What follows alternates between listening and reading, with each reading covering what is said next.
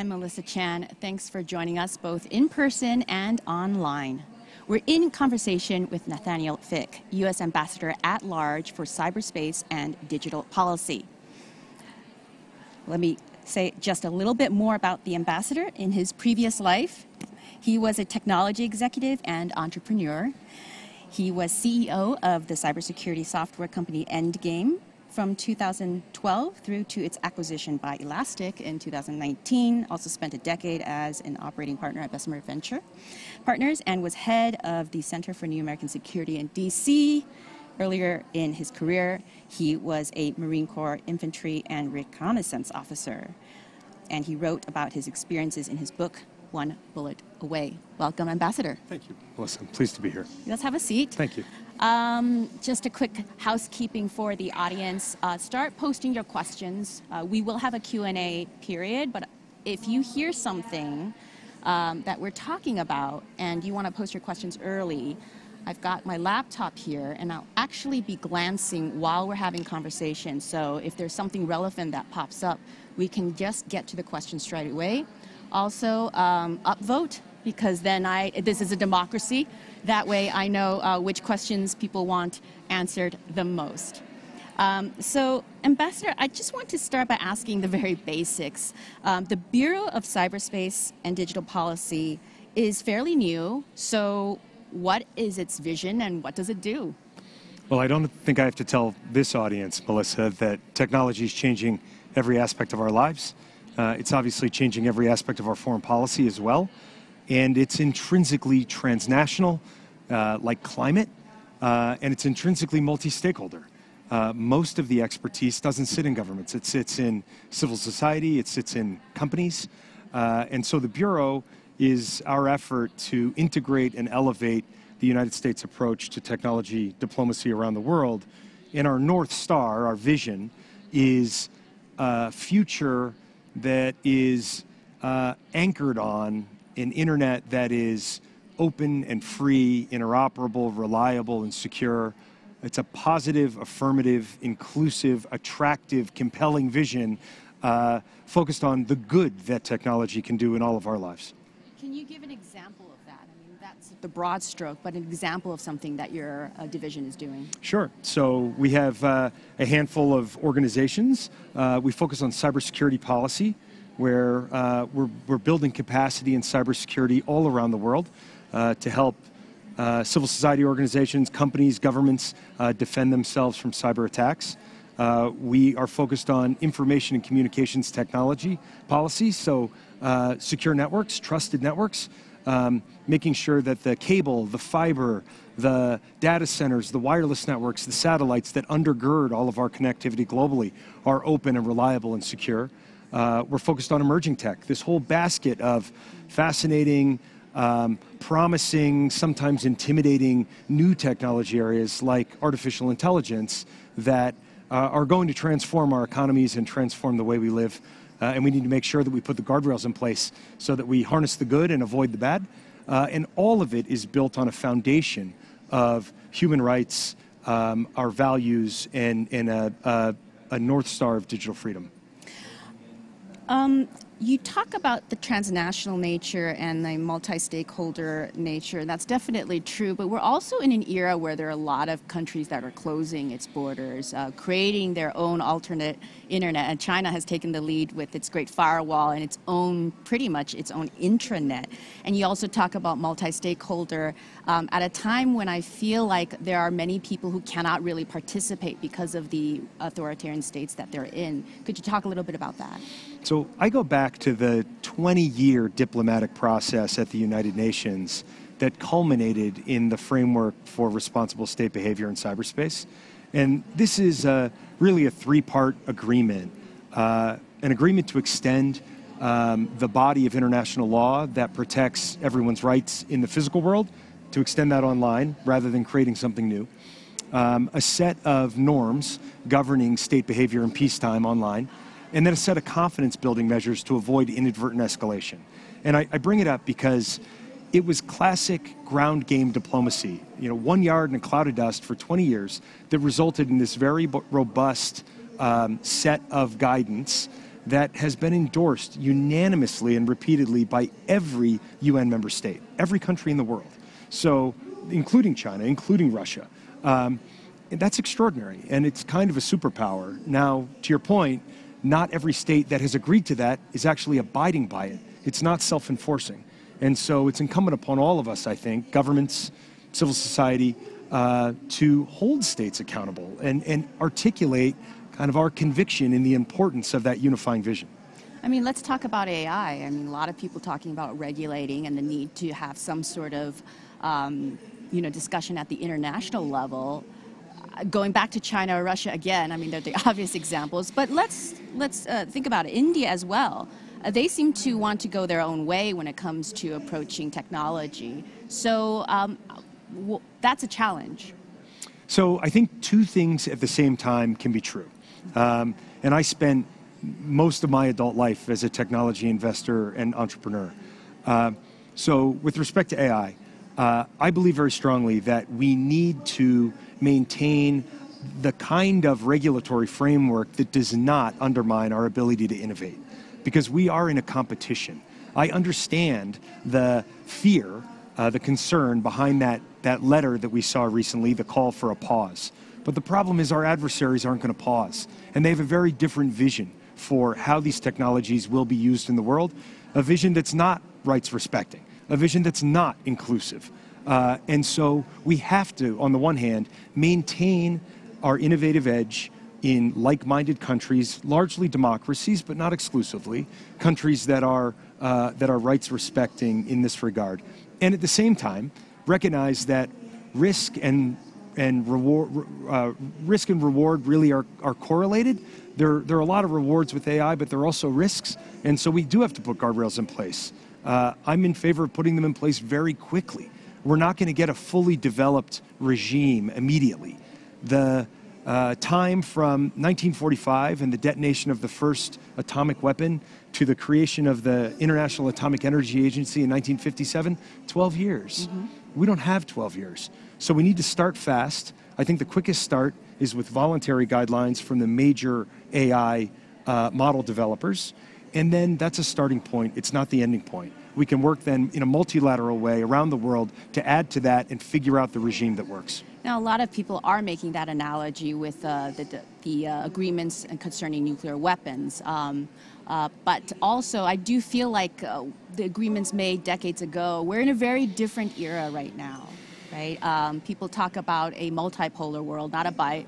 You know, at the in, during the Cold War, there were two major powers. So, um, how does that complicate things for these thing, these goals you've sort of stated? So, I came of age in the era at the end of the Cold War and the years after when we had serious conversations about the end of history or the world being flat. And it turns out the world's not flat, and history didn't end. Uh, so I, th- I, think, again, um, we have to do two things simultaneously. We have to continue to articulate and believe in the power of that affirmative vision for what these technologies can do to connect the two and a half billion people globally who are still unconnected or intentionally disconnected by their governments, uh, to spur advances in things like healthcare and education and connectivity for all people. We have to stay anchored on that. That is the North Star. And at the same time, uh, we do have to hold states to account when they engage in behavior that undermines freedom of the press, that undermines uh, the freedom of organization and civil society organizations in their governments, uh, in, their, in their countries. So we, we have to do both. There's a, an affirmative vision and an accountability mechanism. You talk about the affirmative vision. Um, but the, when you look at big tech, and, and, so many people have been impacted, I mentioned this yesterday, have been impacted negatively here at RightsCon as activists by big tech. The major big tech companies are in the United States. Uh, so, in some ways, when you're approaching other countries and talking to them, uh, they're looking at the harm from Facebook. I mean, somebody like Maria Ressa, the Nobel Peace Prize recipient, right, and journalist, has said that she believes Facebook is the biggest threat to democracy, and it's an American company. That's hard to square when you try to convince people to hear your vision, no? So, at my core, I am proud of and supportive of the innovation culture in the United States that has created the flourishing of these global companies. And I think that on balance, they are enormous forces for good and progress over time. At the same time, uh, I think the era of laissez faire techno capitalism is over, and it should be over. Uh, because these companies and the t- their technologies have become so all encompassing and so powerful and so influential that there are regulatory guidelines that are necessary in order to safeguard human rights and privacy, in order to ensure uh, that we that we uh, don't see rampant misinformation and disinformation. We shouldn't be arguing about truth in the public sphere. Uh, we're entitled to opinions. We're not entitled to our own facts, right? It's sort of the basis of democratic discourse. So uh, I think that we are going to see. Uh, you saw uh, President Biden wrote an op-ed in the Wall Street Journal earlier this year calling for federal privacy regulation in the United States, calling for platform accountability, algorithmic transparency. Uh, our national cybersecurity strategy uses words like regulation and liability and insurance uh, in ways that are, uh, are new and important, I think, in the U.S. I mean, but you talk about, pla- I mean, it's great that he talks about platform accountability, and you do too. And yeah, I'm not entirely sure I'm convinced, I guess, that the era of laissez faire techno capitalism is over. I mean, uh, let's look at Twitter, right? um, right now, there's so much disinformation, misinformation, anti Semitic comments. It's run by one person.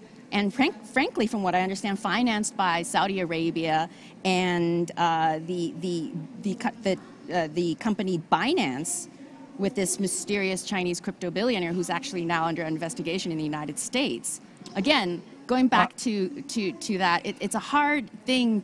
I, I, mean, I imagine it must be hard in your shoes to be in your shoes. How do you convince people that you're taking everything you're saying uh, should be taken seriously when, again, people, I mean, a lot of people here use Twitter, right? Um, and they're seeing what's happening right now. Far fewer people here use Twitter than used it last year. And if you believe press reporting, Twitter's ad revenue is down something like 60%. So there is accountability in the marketplace as well. In addition to government regulation, I do think that the, to some degree in free markets, the market speaks. And we'll see. Either Twitter will remain a trusted place for discourse or it won't. And that's up to, to a large degree, uh, Twitter's management. Yeah, and I also understand, of course, to, to underscore that, I mean, your remit is not uh, stuff happening in the domestic United States. You're, you're outward facing. So uh, I know I'm focusing a lot on, on, on the US um, side. Now, many people attending RightsCon would note that the EU, in many respects, and I'm based in Berlin, so I see this a lot, appears to be ahead of the United States in terms of uh, tech regulation. Um, could you talk about that?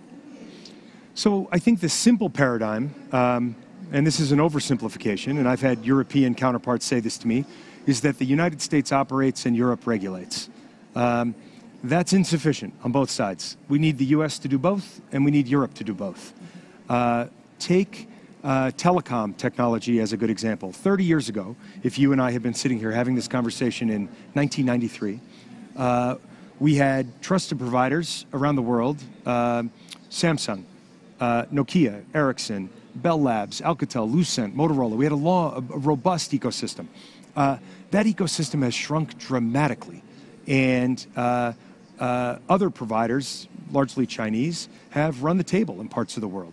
So as we look forward with Europe, I think it's imperative that we identify areas where we currently have shared technology advantage in rights respecting countries, like we did in telecom and lost it.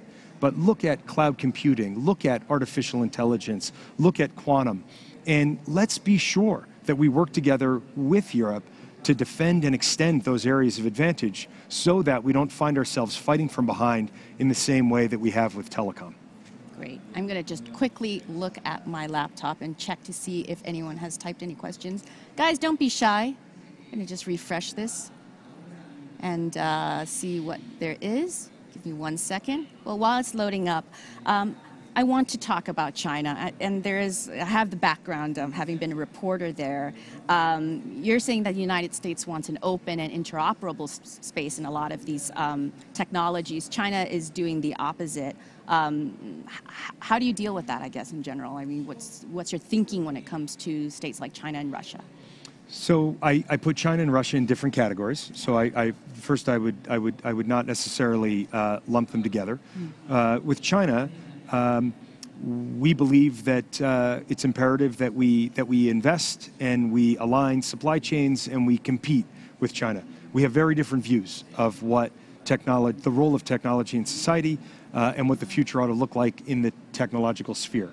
Um, I don't believe that that China shares uh, our values with respect to privacy and human rights, uh, and I don't believe they share our perspective on the importance of uh, trusted communications infrastructure that is not aligned with a government. Um, Russia is a different case. Russia's uh, completely unjustified and outrageous further invasion of Ukraine has made Russia an isolated pariah state.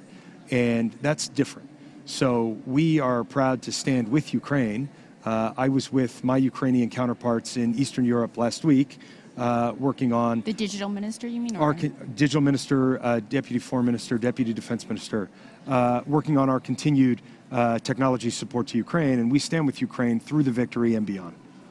Um, I want to also mm, uh, ask you about the Summit for Democracy. I mean, this is a big part of the Biden administration, and I understand that your uh, bureau is also was also part of that. Yes, we we were, and the Summit for Democracy pulled together uh, the gathering in Washington, uh, and there were several around the world. Um, I attended the one in Washington, and it pulled together a, a diverse global group of, of people, much like uh, this one here at RightsCon.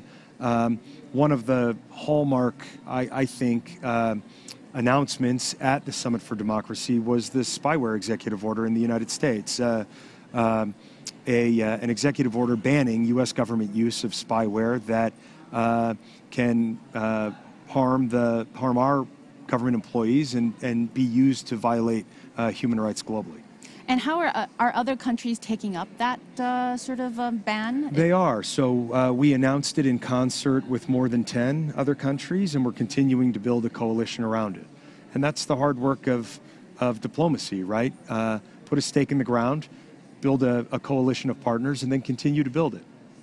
Um, I want to also ask you about semi, I mean, what Freedom House would consider uh, or define as semi democracies. Uh, India, uh, Turkey, um, uh, where, particularly with India, they do internet shutdowns. Um, but yet, the United States also has a strong diplomatic relation with some of these countries that are uh, that have elections, um, but uh, shut down the internet or, or censor what kind of um, conversations are you trying to have with your counterparts? Uh, I think the relationships between states are like the relationships between people. They're multifaceted. Rarely are they defined by one thing. Uh, and just like it's possible to agree with a good friend on 90 things and disagree on two, uh, I think it's, it's possible between states. Uh, as a matter of principle, uh, around the world, uh, we, the United States, oppose internet shutdowns uh, and support continued open connectivity for all people. Uh, and that's regardless of the perpetrator of the shutdowns. We, we uh, maintain that position uh, even with states uh, where otherwise we have robust partnerships.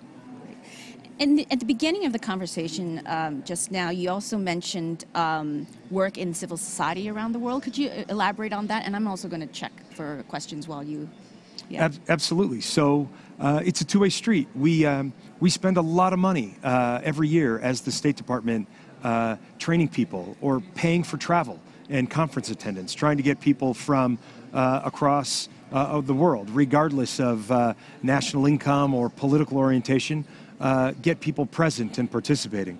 Um, and so that's something that that we can offer to the world. And on the other hand, uh, we try to engage very openly and benefit from the expertise that uh, civil society brings to bear because these people and these organizations are on the front lines. Uh, this is ground truth. It's, it's easy sometimes to spend your time you know, in the cloistered halls of academia or the corporate world or government um, and lose that finger feel sense of what's really important, what works, what doesn't work, what's pragmatic, um, what's realistic. Uh, and so I personally and we as a team spend a lot of time engaging with civil society so that we can listen. Uh, I'm spending a good chunk of time this afternoon here doing exactly that. Right, and there's also capacity building work, right? Yep. what is your sense of other governments? Are they, my, I, I, think I know the answer. I mean, no government is investing as much money as it should towards, uh, you know, building out cybersecurity defenses, uh, whether in, among uh, civilians or, or, or, government. But I, since you travel around the world and you yeah. deal with this, I'd be curious about that. People are shy, so I'm just going to keep asking questions keep, I want. I mean, going. if you guys don't so, send questions, then I will. Um, I will just go ahead and uh, keep speaking to the ambassador. Look, we're connecting a billion devices about every quarter uh, globally, and that's accelerating. So the attack surface that we collectively need to visualize and safeguard is becoming increasingly exponentially complex.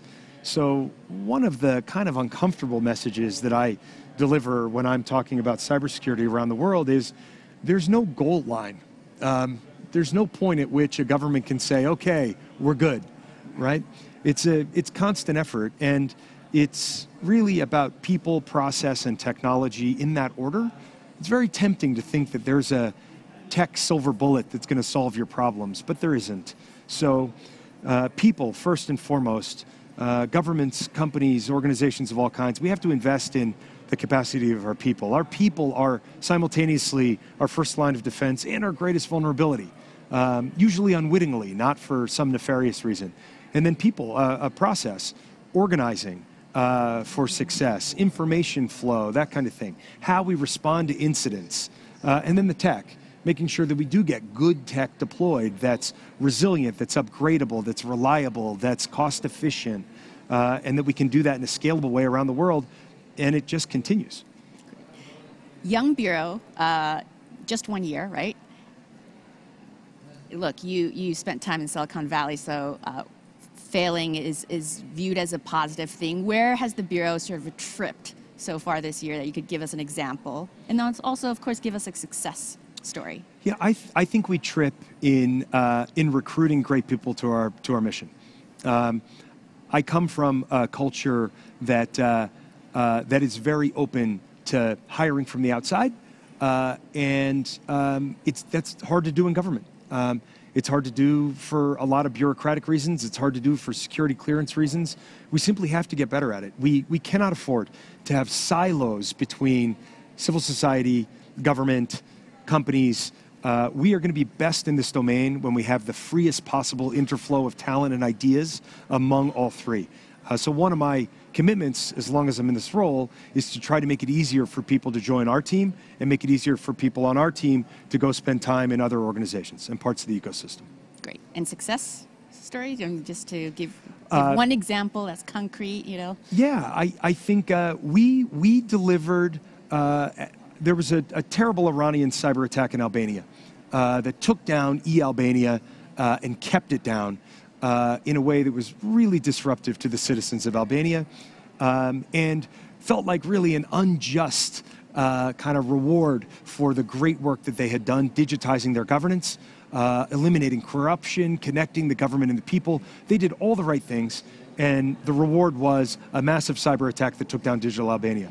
Uh, we in the United States were very quick to organize. Um, to work with, with our Albanian counterparts and our embassy on the ground in Tirana and put together a $25 million aid package focused largely on capacity building and working with Albania to, to build a robust, resilient digital Albania that is secure.